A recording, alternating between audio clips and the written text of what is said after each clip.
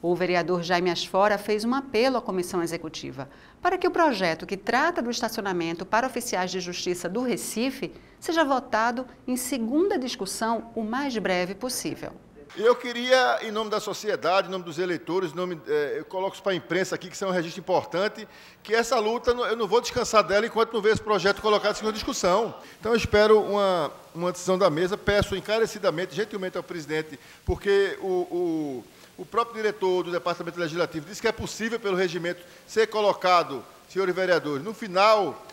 é, no prolongamento da ordem do dia, para que a gente não frustre a sociedade. Já está determinado para segunda-feira ser colocada em pauta essa votação.